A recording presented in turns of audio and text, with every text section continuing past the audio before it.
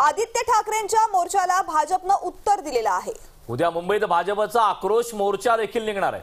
शिंदे गट आरपीआय मोर्चामध्ये सहभागी होणार आहे?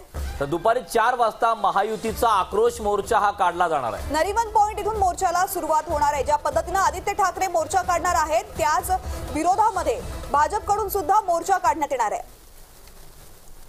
तर आदित्य ठाकरेंच्या मोर्चाला भाजपच्या वतीनं उत्तर दिलं जाणार आहे.